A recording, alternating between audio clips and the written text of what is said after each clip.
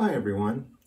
Uh, as you can see, I am holding up a John Suhr custom carve top as well as a Tom Anderson drop top.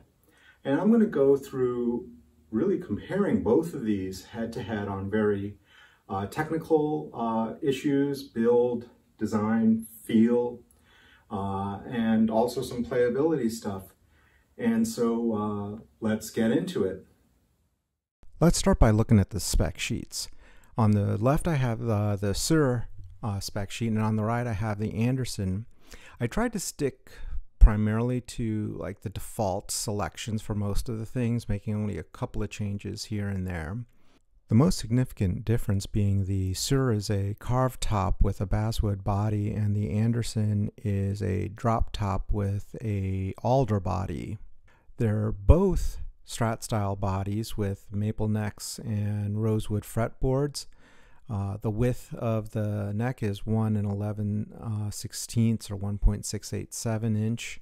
They have stainless steel frets and locking tuners. Electronically, they're rather different, the Suhr being an HSH type uh, guitar and the Anderson being an HSS uh, type guitar.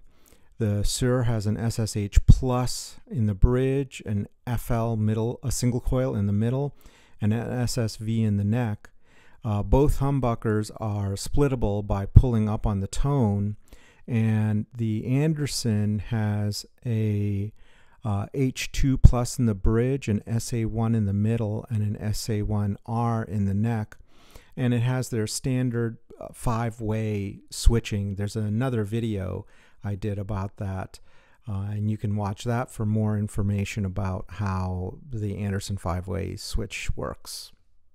Moving on to the bridges, the Suhr has the Gotoh 510 two-post saddle uh, with the steel blocks, and the Anderson has their vintage two-post tremolo. To me, they seem practically identical. They seem to behave the same. Uh, they look almost identical. So I don't know if there's uh, advantage of one over the other. They're pretty identical bridges. Now, again, with the tuning keys, the Suhr, I, since I have a 2009 Suhr, uses the Sperzel, Sperzel uh, locking tuning keys. Uh, Anderson has their own type of uh, tuning keys they both give you a great degree of tuning stability and um, ease of string change. Um, an interesting thing to point out, though, is the Anderson does use a string tree while the Suhr does not. I'm not sure what the benefits are, why one outweighs the other, but to me they both seem pretty identical.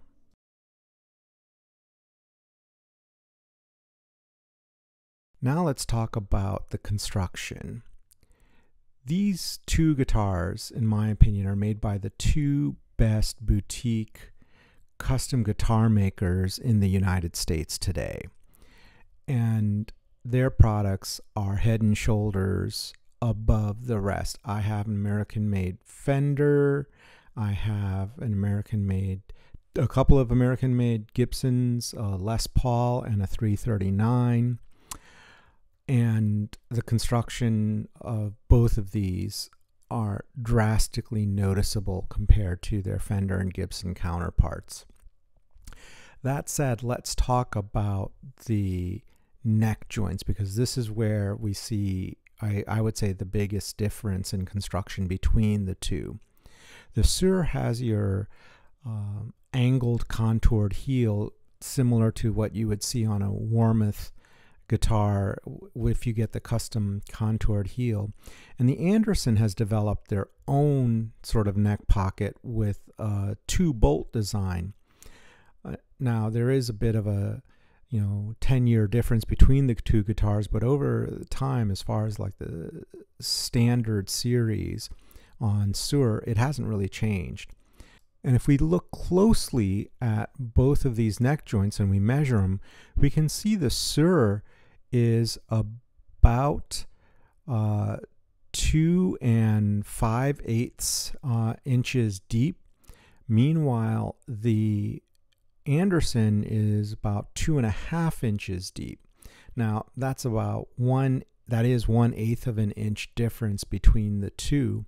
But what really surprised me was it's quite noticeable when you're trying to make your way up to the upper frets uh, and playing in the upper frets. So if you do spend a lot of time in the upper frets, I'd say 17th fret and further, it does make a difference. The other difference between the neck joints is the suhr connects to the body in and around the 16th fret. Meanwhile, the Anderson connects again connects around the 17th fret. So once again, there's a little bit of an edge here with the Anderson as far as build and construction and design when it comes to upper fret access. But moving back to the overall construction of both of these guitars, uh, from these pictures you can see they really are constructed really amazingly well. You, uh, from how straight the neck is to the action to how they do the fret ends. Both of these guitars are amazingly built. Um, and the attention to detail is second to none. Both of them really are great guitars. And one last thing about the construction and build of these guitars the strap buttons. I know it's a small little minor thing, but I got to give the edge to Suhr. I think Suhr with their strap button is a little bit nicer than the kind of standard strap button that Anderson uses. Now, Anderson does something interesting on the bottom side of the guitar where they use two strap buttons. So this way, if you lean the guitar up against your amp or whatever, it's level. It's not uh, balancing on a single strap button at the middle of the uh, bottom of the guitar, which is uh, a nice addition. But um, as far as being able to take your guitar strap on and off, and you might even buy strap locks, uh, but out of the box, uh, opening the case, um, I would say that the Suhr has a little bit of a nicer strap button than the Anderson.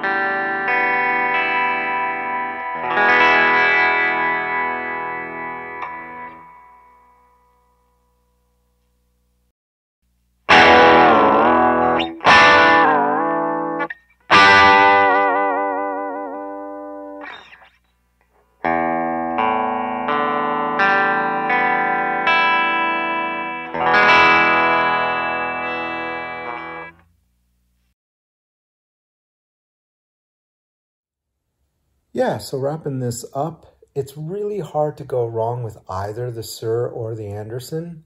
They're both amazing, well-built guitars. The Suhr has, uh, the Suhr carved top has a bit of elegance to it. I really do love the look of a carved top.